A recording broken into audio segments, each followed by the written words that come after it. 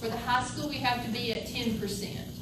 And we made it in the elementary, uh, schools this year. We didn't in the high school. So we already know, this principal and I already know that we have a work cut out to try to keep our high school students in school. And I know you don't have a lot of time, but I will say, the problem that we face is that when students become seventeen, getting ready to turn eighteen, the compulsory attendance law says that your child has to be in school between the ages of six to eighteen. When they turn eighteen, there is nothing we can do. And if you look at the high school's numbers, most of their absences, most, are eighteen-year-olds, seniors. When they they get to that 18. magic number, After they turn eighteen, They that's turn 18. statistic. And we try to keep, you know, we, we're working with them, we're showing them that they need their credit, we, you know, and I, you know, we really work hard. I go to people's houses and knock on their doors to try to get kids in school.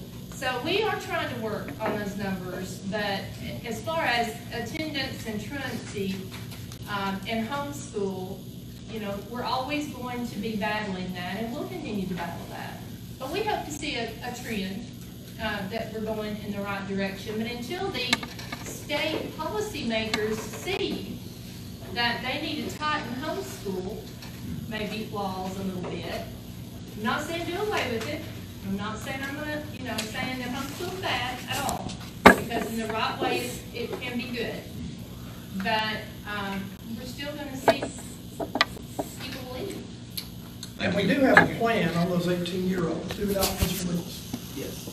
We have a plan on that and, what we're going to do there. So we're putting the tools into place, and what this budget does is allow us to put those tools in place, and particularly other needs that we've shared multiple times, no reason to rehash everything on that. But And look- what this and- budget does is try to take those tools and to get those and and put those in the correct. and- and- and- And looking, at- and looking at staffing, I believe you have one hundred sixty-one teachers at this, at this point, eighteen hundred forty-nine students as of, uh, June thirty. That's eleven point five students per teacher. Right, and then part of That's that, fascinating. it is, because. It looks that- fascinating, If you look really at that though, we have guidelines we have to work with the state too, we have to do over certain class sizes. This, Now, this looks, this looks good, but it's skewed. This Right. number is skewed. Right, because special education requirements uh, are are numerous.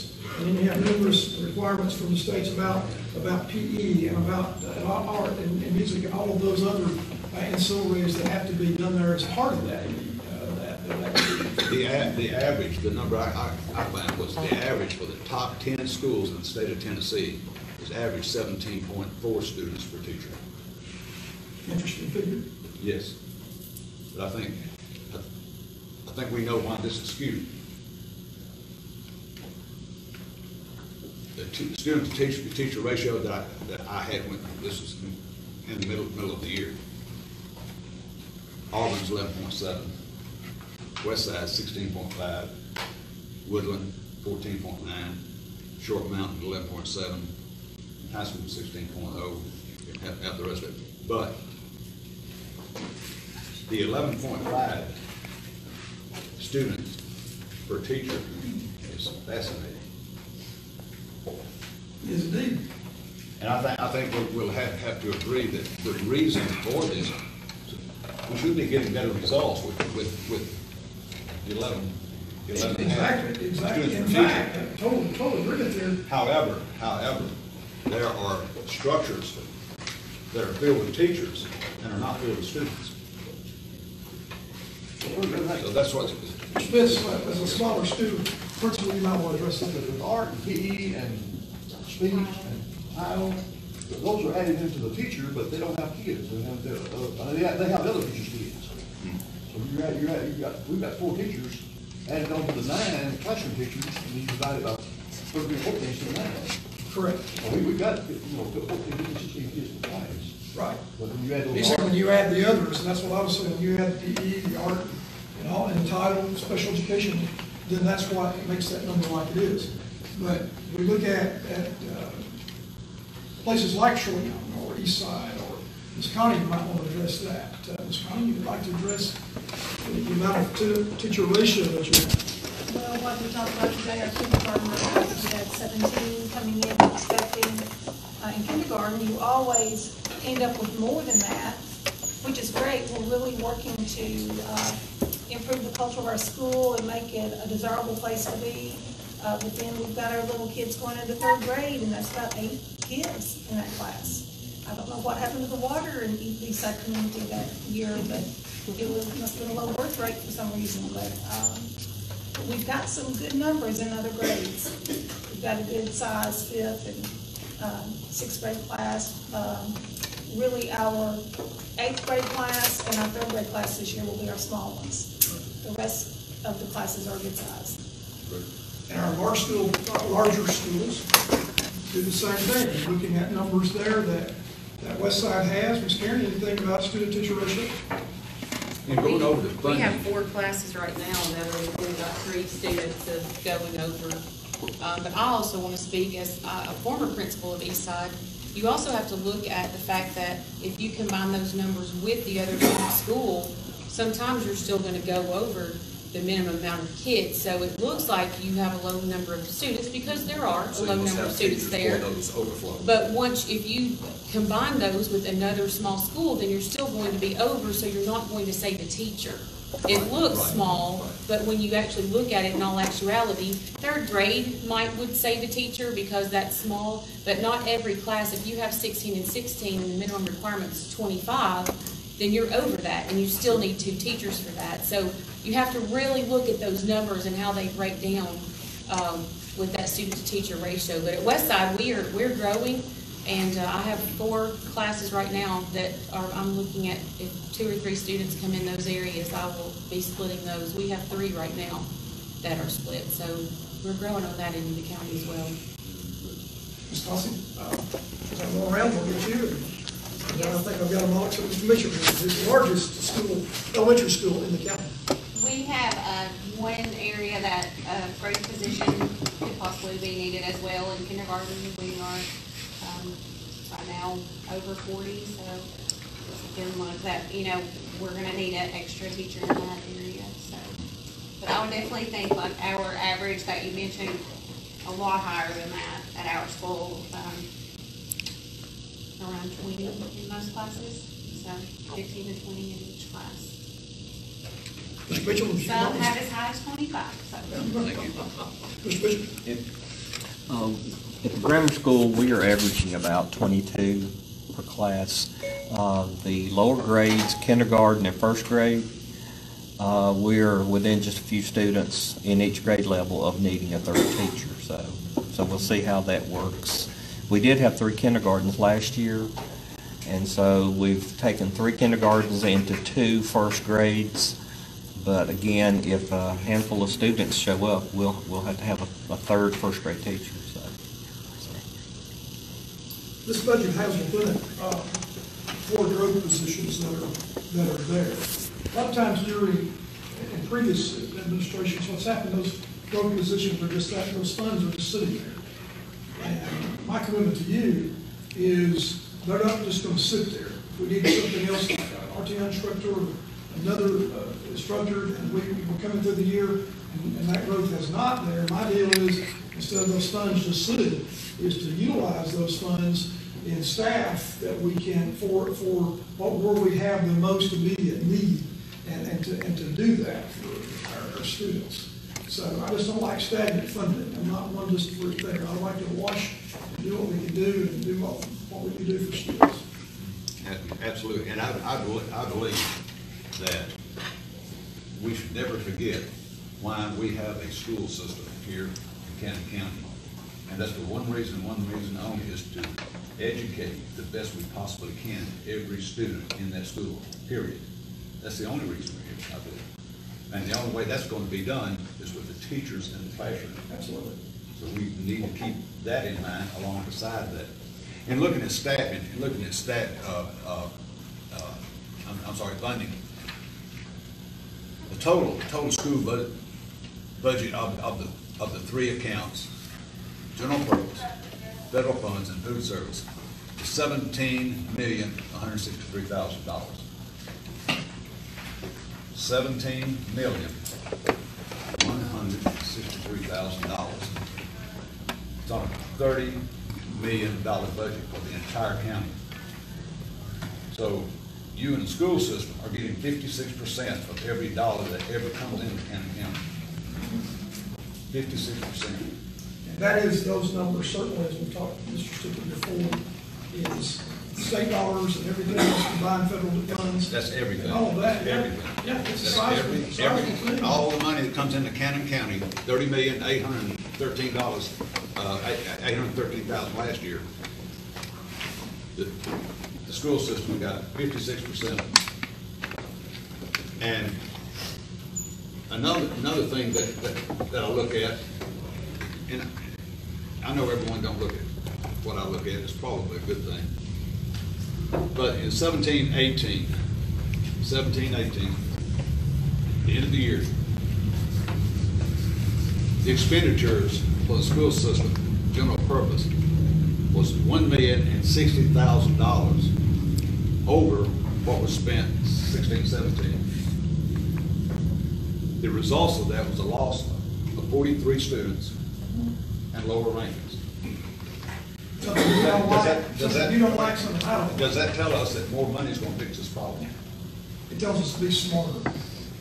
In fact, that's what we're, our charge is to every single teacher, every single principal, is that, is that, I look at myself as the admiral of the fleet, and they're the captains of the ships. And keeping us going and to that destination, which our destination before was just obscured, but our destination is to become one of the most performing systems in the state. You say, what's pie in the sky? It is, but not if it's gonna be Yes, reality. I, I understand that, I understand, and I hear all this, I, I hear it. But when Just when I the say this much money is being, is being put at it, and the results that we've gotten from it thus far, what's gonna convince me? Words not gonna convince me. Right. Because I've heard a lot of things while I sat here the last three, almost four years, that have not happened.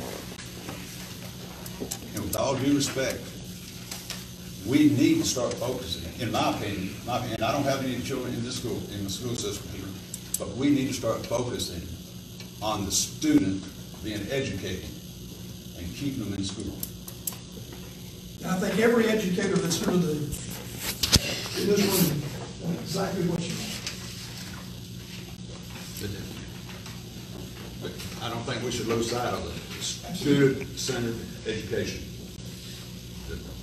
Uh, That's all I have, I, I, I just, and I appreciate you listening to me. I think- I think- And I think that, I think the state, the commitment of this board to do that is hundred percent, Mr. Chairman.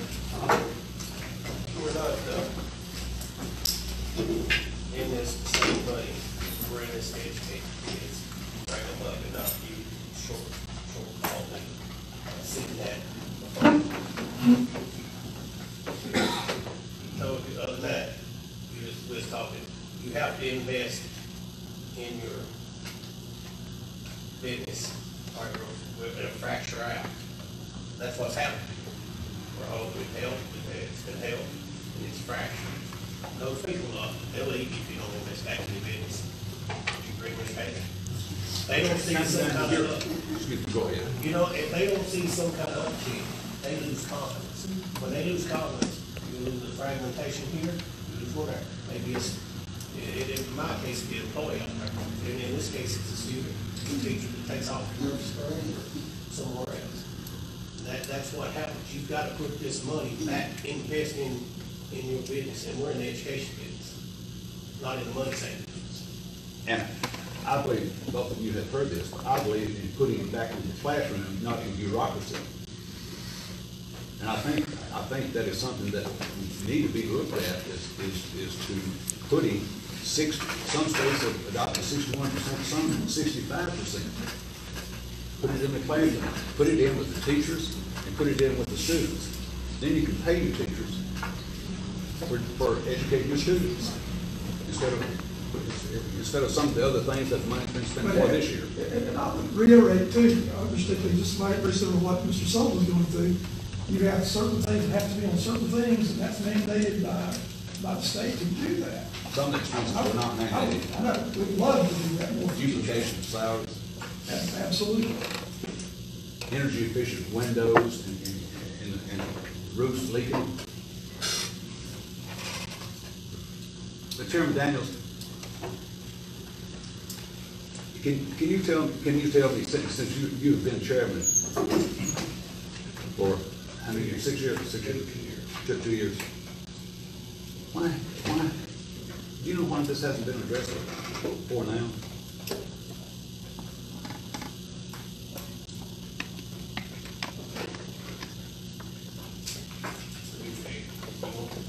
One of the leadership, we had to change.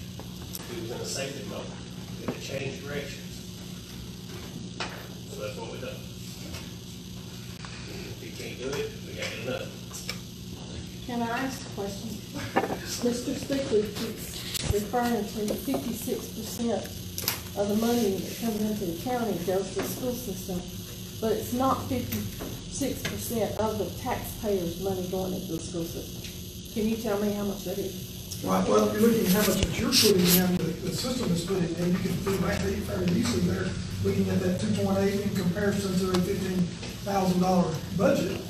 Is, you know, gonna be, and that, from that's from local funding. But again, let me get my government hat on, is that, the government teacher hat on, is that this is, this is a federal project, this is a state project, this is a local project.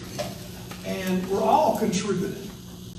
You know, where the money's coming from, federal, state, or local, but you're contributing of that, of that uh, $2.8 million in comparison to that $16,741 it eventually comes back from our pocketbooks, wherever. Absolutely, but whether it's federal, state, or local, it's all, it's all circling taxpayer It does, dollars. but state money But- comes from a bigger. From a bigger And it don't just come from the taxpayers Correct. here in this county, it comes from other taxpayers. And Hopefully, we'll see, and, and going back to the, going back to each line there, but if you'll, you'll see that, we, we are anticipating budget estimate, and it's an estimate of six hundred thousand dollars, what be budgeted for, uh, uh, four zero two one zero, the local option sales tax. Hopefully it'll be much more than that. It was in, the, the actual in, uh, in sixteen seventeen was, uh, six hundred and sixty-six thousand, four hundred and fifty-one dollars. Don't have the, don't have the figures that, some of y'all might have those figures as of this day on how much sales tax revenue has come in. Uh, you know, it's, it should be somewhere in that, you know, six hundred, seven, but let's say it was seven hundred thousand dollars. Well, praise the Lord for that. That means that, that Cannon County, you're spending money in Cannon County, and our students are getting the benefit of that. If every single one of us would, would do that here, then how much more blessed we would be here in Cannon County. So, Ms. Karen, you're exactly right, is that this is from Cannon County, this is Cannon County funds generated in Cannon County. That's the beauty of it, is to, you know, buy locally, if you, if you possibly can. And I know that's difficult, uh, I And if the understand. sales, if the sales tax had passed, you'd have even more money, wouldn't you? Well, Yes, I would, yes, we would. Because half of the local sales, local option sales tax is required to go to the school, exactly half of it. So if, if that had passed, you'd have had even, even more, and, And, and, and and so. and no, no fewer people would have, uh, shopped outside of Woodbury, I don't think, or Cannon County, either one. There's other reasons why people go to McMinnville or Murfreesboro or Manchester to shop. And I, I ask you to forgive me for being, being so, No, no but, but, but over the past three years, in my opinion, we have financially assaulted the property owners of this county. Raised property taxes unbelievably. Seven hundred plus thousand. Yeah, seven hundred, four something, four something thousand dollars. Three years. So we, we've assaulted them financially, and I have to think about that as well. Absolutely. Where's the money gonna come from? If it's my money, I- Again, it goes back to, you're the funding agency, and we're the, we're the spending agency that, that does that. And we're the largest, spending- the, the largest spending organization in, in, in the Can County. But that's how it, it was designed, all of the state does that. Now, some are blessed more than others because they have more revenue, certainly Metro and Have a other broader tax Rutherfords of the base. world, because of tax base. And- We don't. And we say, come to Cannon County, and that's what we're willing to do, is partner with you to get people not only to, to, to come to Cannon County, but to stay in Cannon County. And so that's our selling job, so we do. Isn't that right, Mr. Chairman? Mr. Curtis, when you first come here, the first night we had the budget meeting, Now, these are your words, these are not mine. You sat here and told us, yes, we got more teachers than what state we need. Yes, we got three schools we cannot justify keeping open. Okay? That has haunted me all through this budget process. Okay? The three schools, we put new windows in, we put vestibules in, with vestibules for security purposes, I can understand that. But then at the same time, when we we're doing the windows, we had roof problems.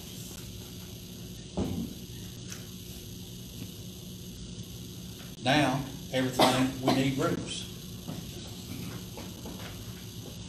And going back to the three schools, you said you can't justify, you know, if they had ten teachers per school, that's thirty teachers.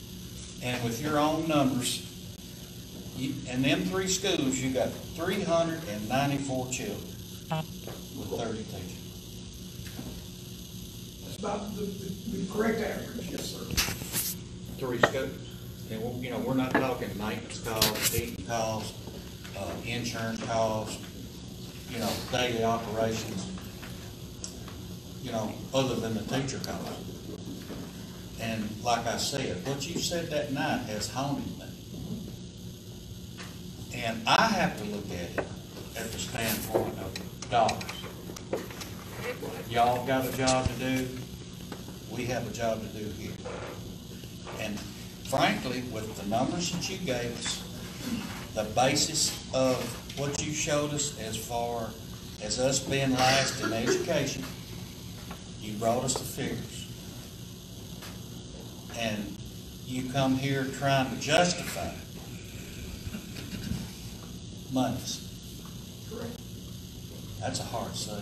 Understand, my job is, That's very I hard, but, it- you know, we go back to that first night, and you know, what I certainly said there was justification for, for those three, you know, three schools, smaller elementary schools, is, you know, a decision that was made a long time ago, twenty years ago. But yet, we're having to deal with that in, where we are now. And, and there is justification for those, you know, those individual schools have the culture there, the climate, and, and the the real qualities of education that I think most Cannon Countians probably still like. But I'm understanding, and that's where the rubber meets the road, or the, the balance in, in, in that whole equation is, is justification. You, what do you want as a commission? That's where, let's sit down and talk about it, let's get this budget passed, and let's sit down and talk about it, at long-term plan. So next year we know, now, like I said, we'd like to start the, the budget process much earlier in the year. I propose that, uh, starting in January, that, that, uh, we start our budget hearings, uh, at the, at the County County Board of Education, we start our budget hearings in January.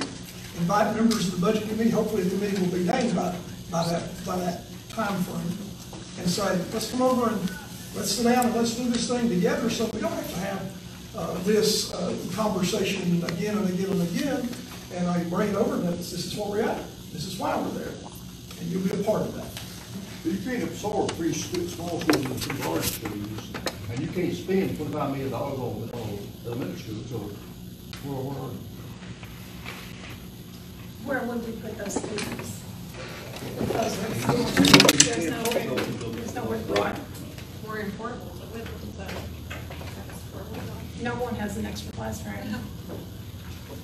We're gonna go with twenty-five million dollars to build elementary. Well, that's up to the commission to see. We're almost out of classrooms at Westside. If we, my four classes split, I'm not sure what we're gonna do. Some co-teaching probably. So principals are on the front line, they can tell you a lot more about that, probably than anyone, anyone here, because they deal with it every single day. If you split a class and you have a particular class, then do that. But if you, you know, look at what other systems have done, that's why I'll sit down, that's why, I'll sit down and do that. What have those systems done? You probably don't gonna like what some of the systems have done, some of them are our size, because they have basically, you know, three schools, uh, an elementary, middle, and a, and a high, and, and that's what, how they resolve that problem, uh, again. But we're Cannon County, I think we can solve the problems, we're Cannon County, we are Cannon, we can do it. About getting to make sure that, that we do the bottom line, and the bottom line is that we're gonna succeed. And all, attendance, we call the parents, we invite the parents to the building, and we talk to the parents, he said, he should not miss another day. Well, two days later, he misses. Uh, he told the parent, you know, he the parent, don't let him miss another day. He misses another day. You know, two only go so far. And we, we tried that for years, and a hard. And I would say this, even if we close doors, you would have to build on, you would have to build the classrooms onto another school, or it would be a building project. There's, like if we combine, uh, Short Mountain and East Side, neither school has the capacity, the classrooms to, because you would have to double up, you would have to have maybe, uh, two teachers for kindergarten, just the numbers would force you to have two teachers for some grades. It's a long-term issue, It's something that can't be solved with this budget. If we want to put students first and have shelter over their heads. Mr. Curtis and Mr. Daniel, appreciate the opportunity to be with y'all tonight, because I come to be more informed, have a better understanding of, um, your side running the student system. And as I shared with you, you know, very few comments uh, made, one dealing with, uh, real appraisals do not generate any additional income.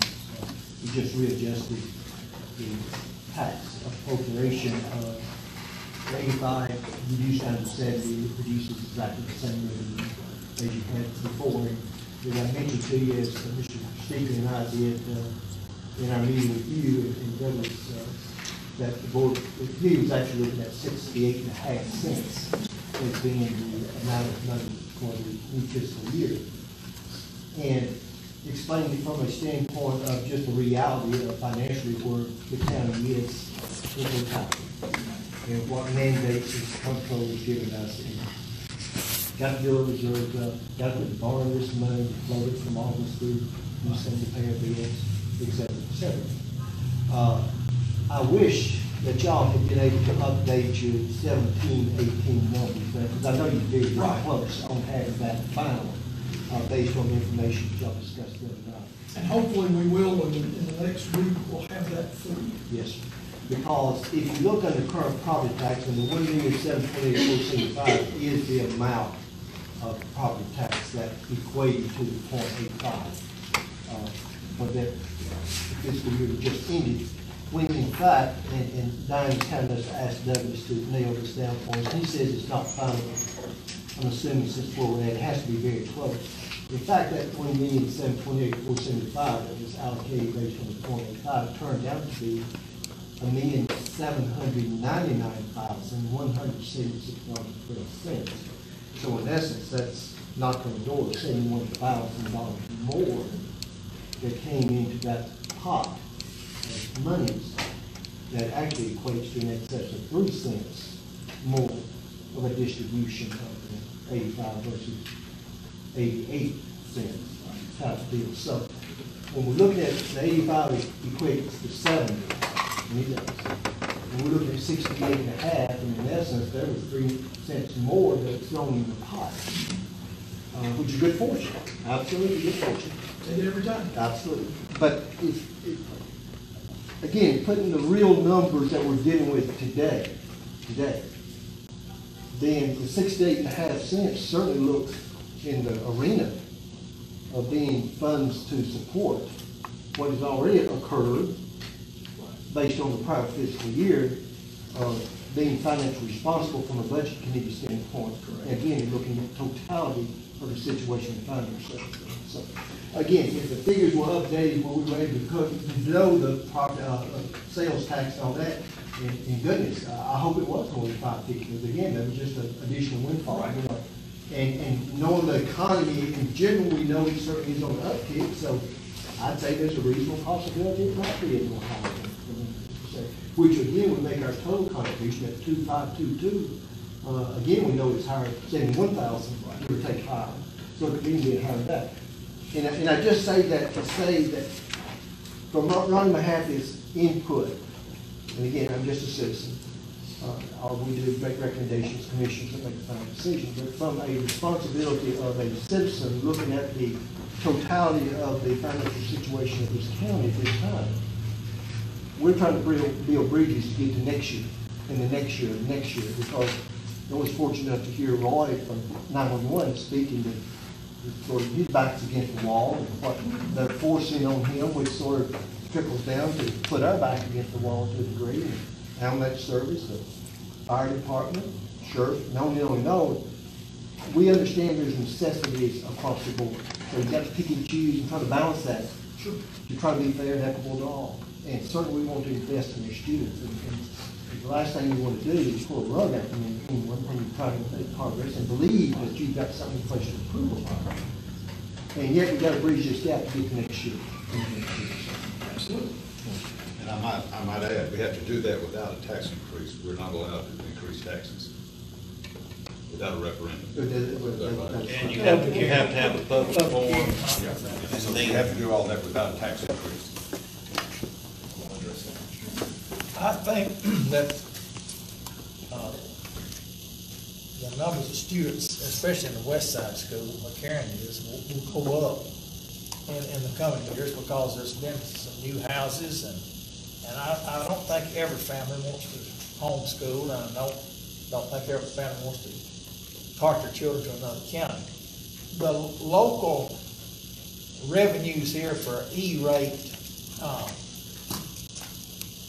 why have you estimated them lower than the, the actuals, uh, from the sixteen, seventeen? What, what happened, Mr. Chairman, is that we have E-rate, and and Roy probably could talk a little bit more about that, but the school's portion of that has decreased. Okay. And will continue to decrease till eventually, oh, I'm thinking we're not gonna have any E-rate on the education side at all, because that's based upon the telephone bills and the Okay. bills that, that each school has in regard to, to the telephone the usage and, and all of that. So eventually, that's gonna go will, down to it will zero. go down to zero, okay. I just noticed that was a, on a downtrend, and I, I had not asked that question.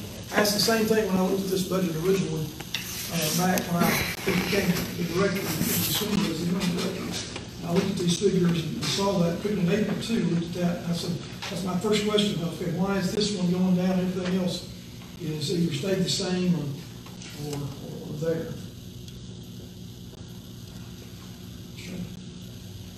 James, you got anything else? You know, the, the monies y'all talking about, the figures that y'all look on, on y'all's side of the spectrum. Uh, these are today's figures as far as our side of the spectrum that we have to look at, okay? Today, county general was two hundred and seventy-one thousand, five hundred and forty-nine dollars and ninety-seven cents. Total. All right, sanitation was sixty-one thousand, one hundred and thirty-one dollars and seventy-seven cents. Ambulance service, they're sitting at fifty-two thousand, five hundred and seventy-eight dollars and eighty cents. Debt service, we're sitting at six hundred and seventy-three thousand, eight hundred ninety dollars and forty-one cents. Now, your educational debt service, you're sitting at two million, four hundred and seventy-two thousand, six hundred and fifty-one dollars and twenty-two cents. These are the numbers that we're having to look at to do what we've got to do. So, you know, it, it's not like that we're against any department or whatever. We, I- you know, I believe in schools. Uh, I went through the school system here, went to college, you know, of course, that's been a while back. Uh, Yeah, we, you know, we like to have top-notch schools. We'd like to be certified again, you know? Certification means you have more, uh, more chances to get grant money. It enhances the process to get that. And, uh, but when we're looking at numbers like this, it kind of cuts down on what we can and cannot do as a county as a whole. And you take in consideration the population is geared towards sixty years and above. of the population instead of it being young people anymore. Young people are moving out. And therefore, you're on fixed income. That's what we're Your people's got retirement they're living on. And they can't afford to pay taxes. They're on a fixed income. Now, if there's more young people comes in, it'd be a different story. So, I mean, that's, you know, that's what we're looking at. And we'd like to work on that with partners with you to say, hey, hold up, don't leave us, don't leave. You want to get educated and come back. Teach us. In fact, that's what most systems like ourselves are having to do. My studies, since I've been director, what I've looked at with other smaller counties, that's what they're doing right now with those hard-to-find teachers, like a Spanish teacher, for example, uh, which has very, been very hard for us to, to, to fill. Uh, Principal Nichols can speak a whole lot more about that. But we're trying, you have to grow on your own anymore. You really have to send somebody out that says, I'm gonna, we're going to help them to, go to college and come back and come back and say, we're going to, we want to teach here where I grew up. And that's attrition. So, Mr. Chairman, I think we had something. The way, the six, I, I done a little figure on the 68, 68 and versus the 75. When you do, do the math, if I'm correct now, if I didn't mess it up, doing my calculation. I didn't have a copy of it, I didn't to have a copy of it. We're hundred fifty-nine thousand, four hundred sixty-five dollars apart. That's what we're talking about right here. That, and the whole thing, we're hundred fifty-nine thousand dollars apart equate that out where it's easy for me to understand, that's, that's about four teachers. Right? Correct. You didn't know that's You know that? That's right. Now, I've always said, that's about what our When they, average. when they use eighteen hundred and forty-eight students, that's eighty-five dollars a student that we're talking. Four twenty dollar meals a five is what we're talking about. For the first week. And this budget that you propose does include some extra. Four growth positions plus our Growth, with the assistant four growths. principal, Woodbury Grammar, assistant principals, on the West Side and Woodland. Uh, also a health sciences teacher, which we've talked about multiple times here. Another guidance counselor that's desperately needed by our elementary uh, students. Plus raises. And, uh, well, plus the raises are already figured in, yes, sir. Because you have to figure those in, the very, very first thing you have to do is the, um, sequential steps that the state says, by the way, that the state says this is your minimum fee. This is your minimum amount, and then certainly that, that echoes then up the chain. Five hundred and sixty thousand dollars more. Mr. Curtis, can Angela and I also clarify, that is not an assistant principal for me and one for her. We had initially asked for that, but we agreed because we realized that money was tight, that we would ask for one to share, that she would have one three days and I would have one two days if this is passed and that's funded. Um, we brought to the board, and I didn't bring it tonight, but we brought to the board, um, the work that has been added to us just since I've been, a principal with things that the state has, uh, put on us, team evaluations and compliances and those kinds of things, lots of paperwork that we have to keep up with. And I'm in the classroom less now than I was when I first became a principal because I'm doing a lot of that paperwork office stuff that certified people have to do. I can't hand that to my non-certified secretary. It has to be someone certified that deals with teacher evaluations and those kinds of things. And it was in the thousands. Mr. Meacham uh, and Angela and I sat down and looked at the number of things we have to touch to get our evaluations completed and all those things done. It's in the thousands, and I'd be glad to share that with you. I just saw it today. In, So- in your, in your professional opinion, is that beneficial to the education of the students, that increase there over just the time that you've been principal? There is value to it, and they are actually looking at making some changes to it right now because we have an education department right now that's listening to us, and we're very, um, pleased that they're listening to us because we've told them what these things are looking like. So they are making some changes, uh, to some of these procedures. Uh, there is value to it. It's giving us some idea of what good teaching looks like. It's giving us some idea of best practices. It's giving us something we can follow and share with teachers and give them some idea of things they can uh, change to make uh, better classrooms for our students. So there is merit to it. There is a lot of paperwork. I think the procedure itself could be condensed somewhat that we would not have to do so many so often. It takes some, some of your time to do the It takes a lot of time, a lot of time, and we, we calculated, and it was in the thousands of things we have to touch. Y'all need to keep lobbying with the state Board of Education and the Commissioner of Education to get these things so that y'all can go back to teaching instead of doing clerical work. Well, luckily, our teachers are, are teaching, and, and this is, it's based on best practices, and it's, it's a good rubric. It has, um, things in there that we can say, we didn't see this, and we think this would help the students better. So there's some good conversations that come out of it. It's just time consuming, and, um, we just need some help. We just said to them, this is something that we need some help. And we have agreed, Angela and I have agreed to share one, so I just wanted to clear that up, that we are not asking for one apiece. We realize money's tight, we're not trying to be frivolous with your money or our money or the taxpayers' money, but sometimes you have to say, we have to have help, and that's where we are. We also really need our guidance counselor. I had five students on suicide watch last year. Um, that was unheard of when I went to school.